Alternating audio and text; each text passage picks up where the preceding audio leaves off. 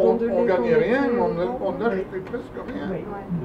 On a vivoté là, au, tout à fait au début. Ma mère, je crois qu'elle avait mangé, le premier chocolat qu'elle a mangé, elle avait peut-être 14 ans.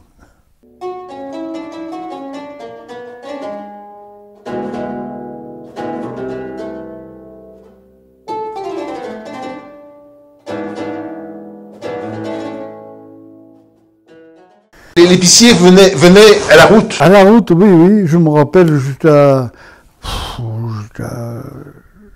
15 ans. Oui, jusqu'à 15 ans, il passait à la route. Là, toutes les semaines. C'était le père Lapin qui passait. Il y avait le père Jean. Le pain, alors Oui. Ouais. Et puis, voilà, il passait deux boulangers. Il passait deux fois par semaine.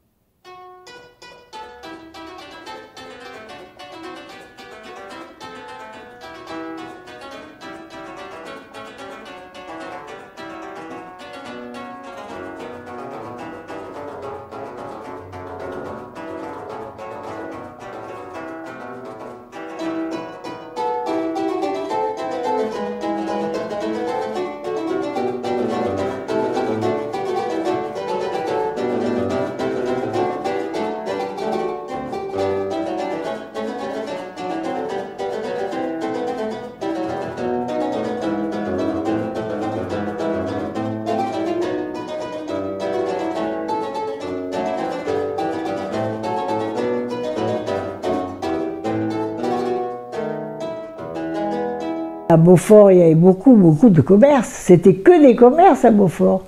C'est pas le terrain qu'ils avaient, hein. ça c'est pas grand chose le terrain à Beaufort.